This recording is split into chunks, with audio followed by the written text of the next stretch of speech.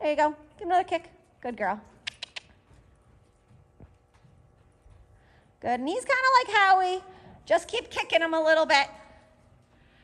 It's better to go a little too fast than a little too slow because he's so lazy. He's so tiny. Yeah, he's a tiny. Well, you're used to the other one you just rode.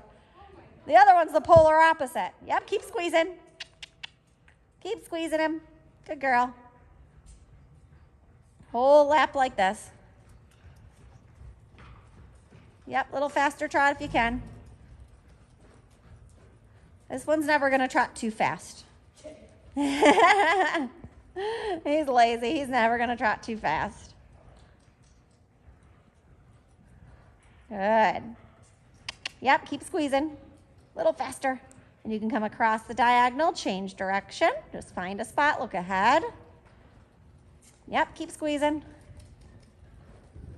Good girl. Yep, and keep him trotting forward. Kind of like Jim James, think about how fast can you make him trot so he really struts his stuff.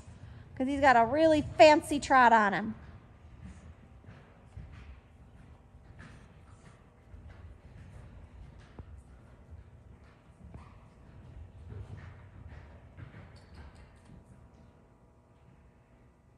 Really good. Yep, keep him strutting.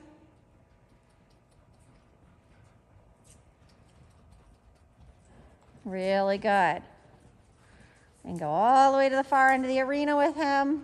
So you go all the way down away from the lounge.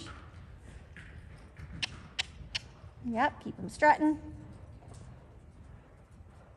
Now he's going to be a little lazy about the canter, right? Yeah. So just be aware. And we're going to get to this next corner. We're going to ask him to canter.